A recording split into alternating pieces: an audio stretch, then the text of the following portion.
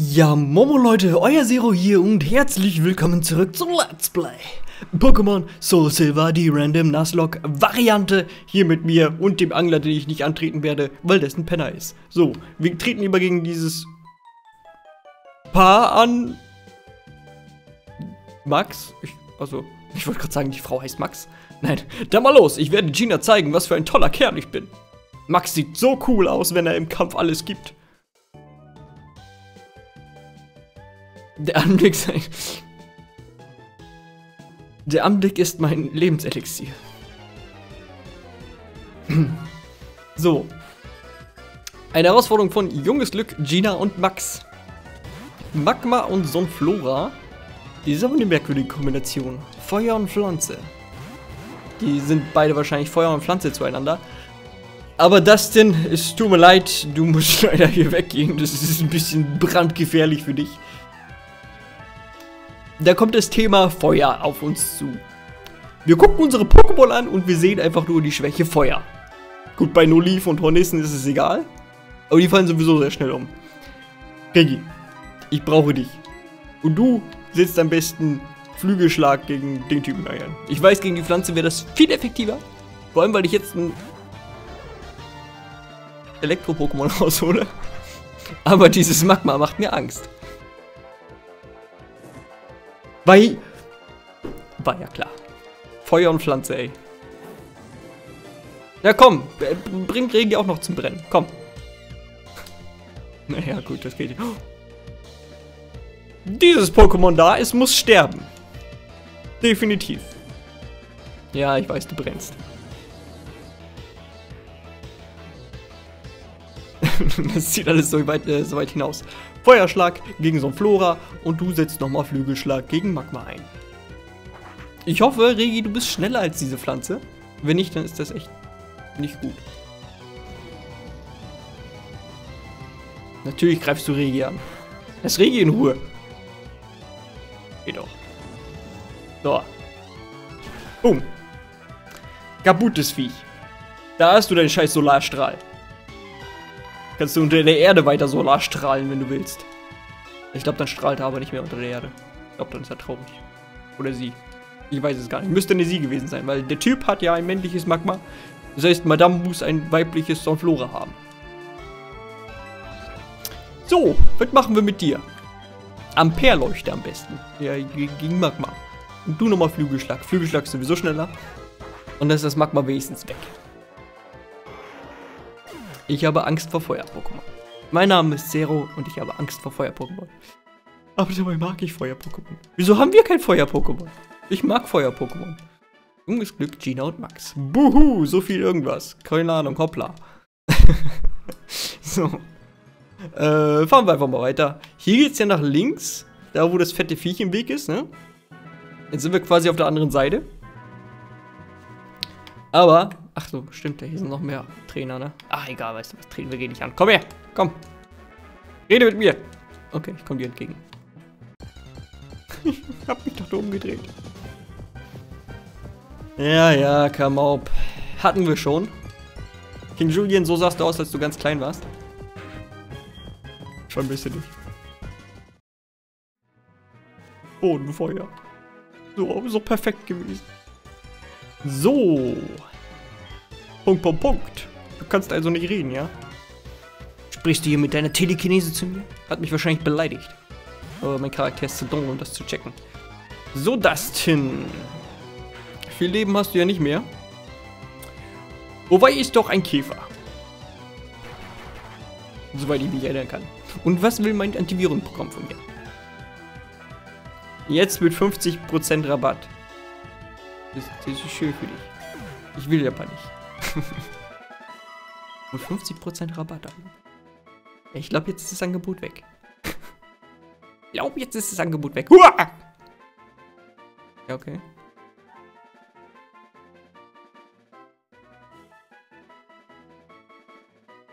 Ich traue dem Ding nicht. Äh, oh, als nächstes, oh wei. Der Typ hat Eier. Alter Schwede hat Eier. Ja, deswegen wir noch ah, hier und so weiter. Ja? Wieso ist der überhaupt Level 39? Was ist denn das für ein Vergleich? Ganz ehrlich. Wir haben gerade einen Doppelkampf gemacht, die waren 44. Ich weiß jetzt nicht mehr, auf welchem Level die Pflanze war, aber... Oh, Kokowai. Das ist was ganz anderes. Ja klar, die, die Eier wachsen natürlich nach oben, wenn er mutig wird. Tut zwar ein bisschen weh, aber du hast mal durch. Nur ein echter Mann kann das aushalten. Sehr effektiv. Das denn. Du hast mal wieder bewiesen, dass du einen Level 39er fertig machen kannst. Alter Schwede. Darauf solltest du stolz sein. Punkt, Punkt, Punkt. Ja, ja, ja. Ich weiß, was du willst. Ich schloss nur kurz die Augen und schwupps, schon hatte ich verloren. ja. Darfst nicht bei mir blinzeln. Ich, ich will nicht in den Rasen treten. Ich will nicht gegen schwache Pokémon treten. Es juckt und sticht, wenn ich mit meinen Shots durchs Gras laufe. Oder durch, durch Gräser laufe. Keine Ahnung, was er gesagt hat. Ich habe nur angenommen, dass er das gesagt hat, aber ihr wisst, was er gesagt hat. Sandandamar. Sandamar. Ja, was, was haben wir gegen dich? Ich glaube, nichts. Ich glaube, mein Freund, dass Eis gut gegen Boden war. Man, man dürfte meinen, dass das nicht so ist, weil wenn der Wind da runterkommt, dann ist es dem Boden eigentlich egal.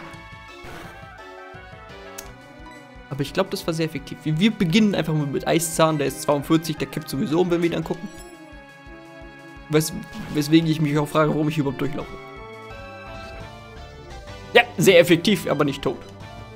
Zornklinge. Oh, nein! Bitte nicht wehtun. Oh mein Gott. Tja, das war's.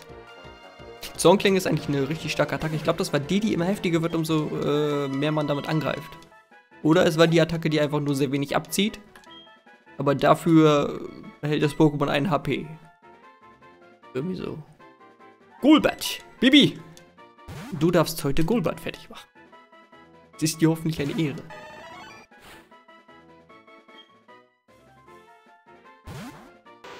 X-Bad, sorry.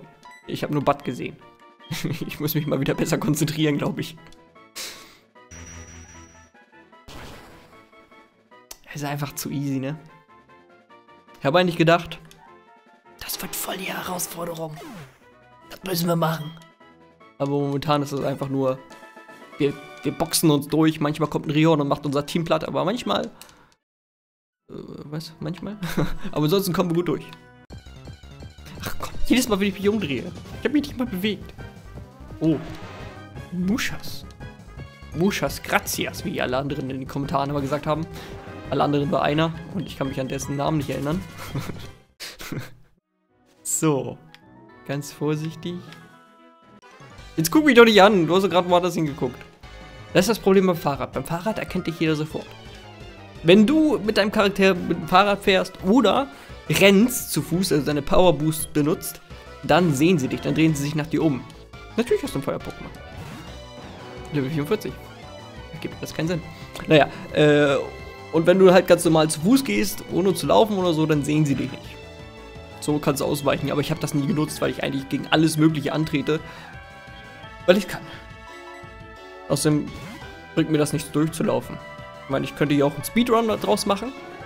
Da hätten wir ein Pokémon und die wäre einfach durchgeflitzt. Mit, keine Ahnung, was war das erste Pokémon, was wir hatten? Alter, immer mit der Ruhe. Ladungsstoß wird reichen, ne? Was haben wir zuerst gehabt? Was war das allererste Pokémon, was wir damals hatten?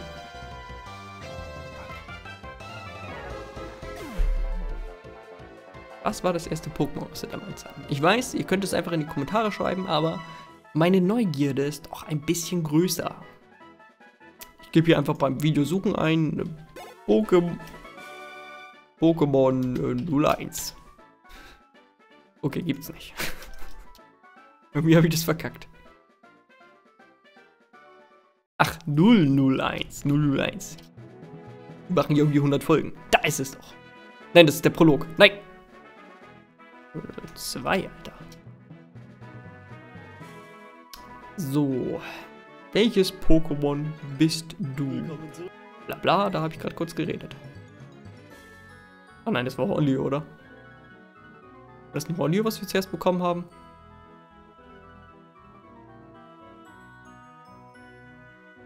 Gott, das war Horndy. Okay, wir hätten mit dem ersten Pokémon auf jeden Fall verkackt. Aber vielleicht wäre das zweite besser geworden. Aber ich glaube, das war Blitzer. Oh, nicht wirklich großartig. Sag mal, kann man irgendwie was Vernünftiges? Habe ich überhaupt den Random? Ja, da kam gerade ein Musch aus dem Gras.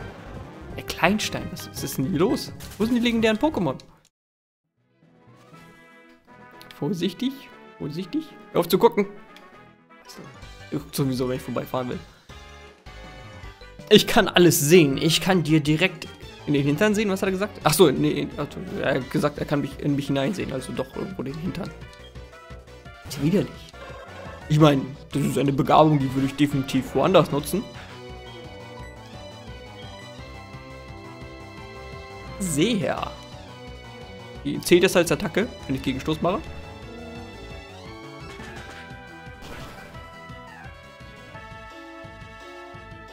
Er ist sowieso tot. Sehr schön. Was hast du noch? Eine Runde habe ich noch. Wenn ich in dieser Runde das nächste Pokémon fertig mache, kommt der ja niemals. Du hattest ein Pokémon? Du hattest ein Pokémon und setzt See ein? Kommt vom Glauben ab. Ah, das ist das Relaxo. Ha! Von diesem Winkel aus sieht das aus, als... Da! Da! Es sieht so aus von diesem Winkel, als hätte es die Augen offen. Es hat nur die Augen zu, wenn ich, wenn ich es sehen kann. Lebt. Ist wach. Da. Auf diesem Pixel ist er wach. Hat doch irgendwas zu bedeuten, oder? Schläft, ist wach. Schläft, ist wach. Der will mich verarschen. Und nicht mit mir. Ah, okay.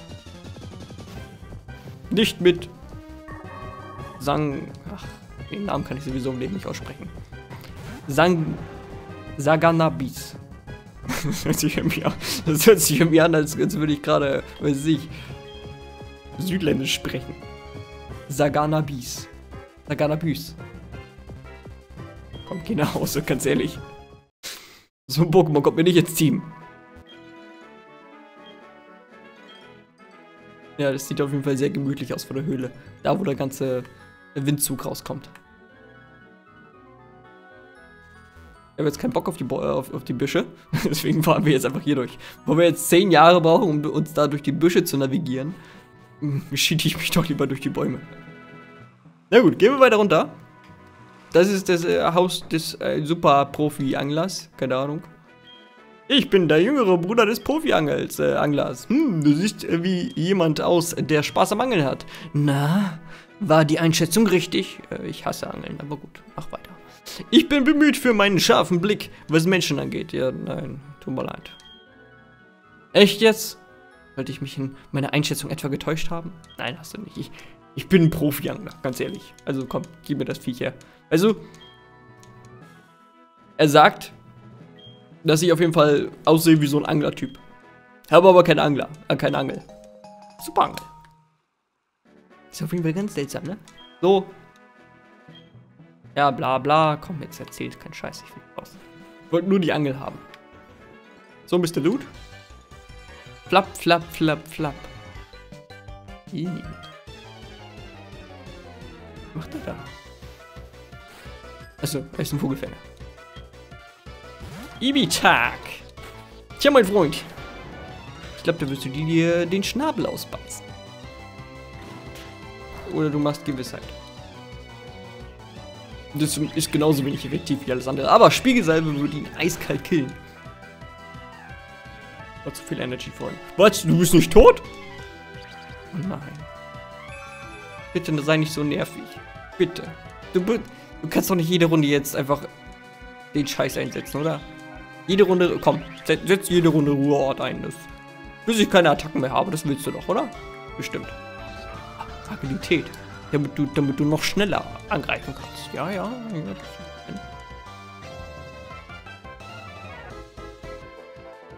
Mach bitte nicht Ruheort. Ah, oh, danke. Er ist tot. Halleluja. Wir werden gleich das Pokémon wechseln. Definitiv. Das denn macht mir zu wenig Schaden an Vogel-Pokémon. So, Habitak. Ach so. So ist dein, dein, dein Plan also, ne? Immer schlechter werden. Das passt perfekt zu dir. Mit deinem Flap, Flap, Flap. Komischer Flapper.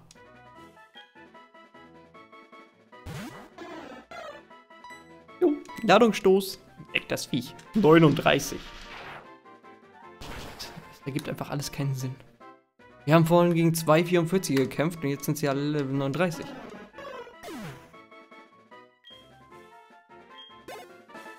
Ich glaube, die haben sich einfach gedacht, gedacht, die haben sich gedacht, hm, die Top 4 muss so schwer gewesen sein für den Typen. Wir machen es ihm jetzt leicht. Und dann kommt so ein Scheiß. Äh, was ist das hier? Ah, ein Pokéball. Calcium. Naja. Gehen wir hier weg. So, Route 12, nördlich nach Lavandia. Da wollen wir aber nicht hin. Ach, hi. Schau dir meine Pokémon an. Sieh nur diese Farben und dieses Gefieder. Ah, ein Vogelfänger. Bestimmt hat er so ein Habitat, so ein graues. Voll die geilen Farben. Ach, Schwalbini. Ja, der hat gute Farben. Wieso hast du ein Schwalbini? Wir sind hier in Kanto. Wir sind hier in Kanto, Bro. 41 ist klar. Wie? Ich bin Stahltyp, Mann. Ich dachte, wieso machst du... Egal. Das geschieht dir recht. Aber Schwalbini ist kein Kanto-Pokémon. Wir haben bisher nur gegen Kanto-Pokémon gekämpft, oder? Ach, jetzt hast du Milivitak. Die, die bunten Farben, habe ich doch gesagt. Ist das vielleicht ein Zeichen? Hm. Komisch, komisch, komisch. Wir haben ja noch nichts anderes als erkannte Pokémon gesehen und dann kommt plötzlich ein Schwalbini. Glückwunsch! Also verdient. Und wieder hat er zwei Pokémon. Und wieder sind sie nicht 44. Mann, die sollen 50 sein. Was, ist, was soll denn das? Ich glaube, ich, glaub, ich rede mich da jede Folge drüber auf, ne? Dass die einfach, dass die einfach in so einem scheiß Level sind. Du wirst erstmal in Sicherheit ge gewogen von den Trainern, die hier rumlaufen, weißt du, und dann kommt da plötzlich so, so ein fetter Arenaleiter mit 60er Pokémon und du denkst dir einfach nur, yo, Glückwunsch. Hey, du da, hast du Lust mit deinem Pokémon-Team gegen meins anzutreten? Nö. Ich hab nö gesagt. Aber diese Frauen verstehen kein Nein. Nein heißt Nein, Madame. Oink. Okay. Jetzt wird's skurril. Das ist das zweite Pokémon, das nicht Kanto ist. Und ich bin schneller als Bonk.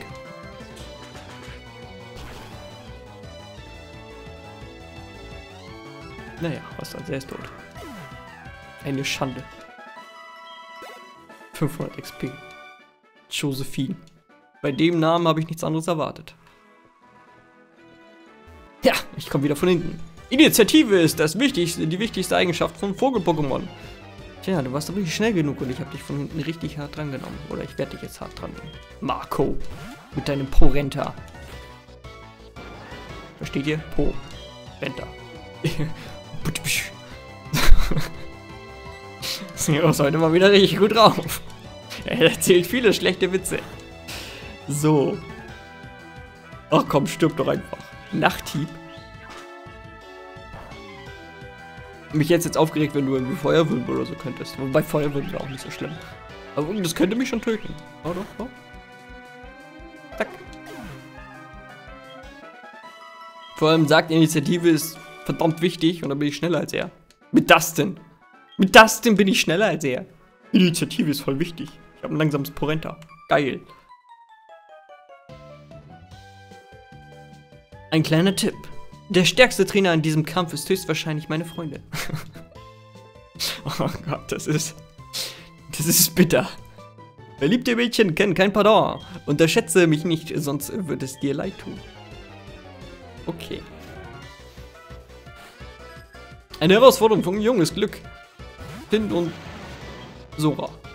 Sora ist übrigens ein schöner Name. Gefällt mir. Enton. Liebes Enton. Erstmal gegen Kadabra den Scheiß und gegen Enton den Scheiß. Hoffentlich bringt der No Leaf äh, das denn nicht um. No Leaf darf er umbringen, aber nicht das denn bitte. Ah. Sehr schön. Den richtigen eingesetzt, auch wenn ich jetzt fast tot bin. Okay, äh, nach der Attacke muss ich das denn leider ähm, auswechseln. Die Angst, dass Dustin stirbt, ist mir ein bisschen zu groß. Tschüss, Kadabra. Aber das Kadabra war rechts, ne? Und das Mädchen war auch rechts. Haben die mich angelogen? Okay, wir sollten beide Pokémon austauschen. Definitiv. Wir setzen am besten mal Bibi ein und äh, ja, Regi möchte ich jetzt ungern einsetzen. Komm, Hornissen. Hornissen, du machst das schon. Wusch.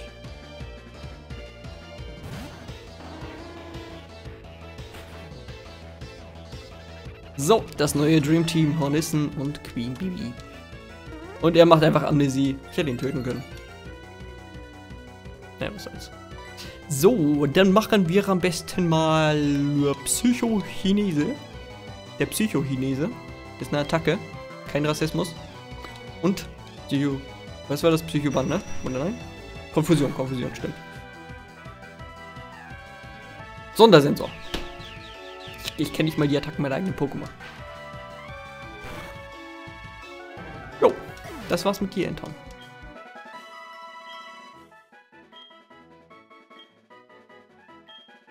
Jetzt kriegt jeder erstmal ganz wenig Erfahrung. Das ist schön. Der stärkste Trainer warst du. Wow! okay. Äh, das hier ist eine tolle Gelegenheit. Ich stehe nicht auf Dreier, tut mir leid. Was? Schade. Ja. War nie mein Ding. Tut mir leid, es war einfach nie mein Ding. So, Zeit Baby mal nach vorne zu setzen. Baby soll auch mal ihren Spaß haben. Und dann gucken wir nach anderen Trainern. Hallo! Hihihi, wie wär's mit einem Kampf gegen mein Pikachu-Team? Da habe ich ja schon mal das richtige Pokémon draußen. What? okay, das, das dürfte Bibi auch noch hinkriegen, ne? Machen wir die, die Psychochinese. Ne, Psychochinese, äh, wie heißt das nochmal? Äh, keine Ahnung. Ich wollte gerade einen geilen Witz bringen, aber der Psychochinese hat mich schon rausgehauen. Ja, das, äh, das ergibt wirklich Sinn. Sechs Pikachus, alle 32. Ich würde sagen Wurf, ne? Wobei auch nicht. Würde uns jetzt jede Menge Zeit kosten. So. Komm schon. Schneller, schneller. Nein, ich werde jetzt nicht dieses Spiel beschleunigen. Nein, wir werden das vernünftig durchziehen. Wir werden das vernünftig durchziehen wie Erwachsene. Man muss hier nichts beschleunigen. Man muss, man muss es immer genießen. Ne? Ja, noch ein Pikachu. Kannst du wenigstens irgendwie, weiß nicht, ein bisschen Abwechslung haben?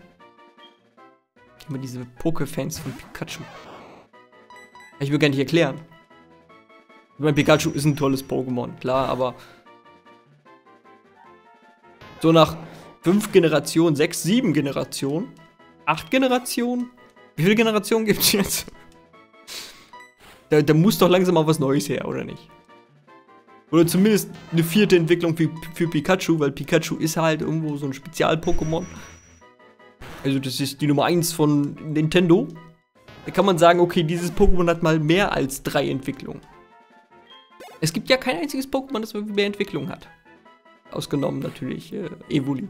Aber Evoli entwickelt sich ja nicht immer weiter, sondern entwickelt sich zu verschiedenen Typen. Das wäre doch mal geil. Ein Pokémon, das vier Entwicklungen hat. Was weiß ich. Pichu, Pikachu, Raichu, Raishuro. Keine Ahnung. Rai, Rai, Rai, Rai. Schreibt mir in, Kommentar, in die Kommentare ein paar Namen hin. Was, was, was könnte die vierte Entwicklung von Pikachu sein? Schreibt es mir in die Kommentare. Den besten lose ich aus und dann design ich ein Pokémon. Und das werdet ihr sein. Ich, ich kann nicht designen. Aber vielleicht wollt ihr das Pokémon designen. Euer eigenes Pokémon. Gut, Freunde, ich würde sagen, damit beenden wir die heutige Folge. Wir sind weit gekommen, wir sind kurz vor der Arena, wir sind halb tot und wir sehen uns morgen wieder, wie das ausgeht. Haut rein, euer Zero. Tschüss.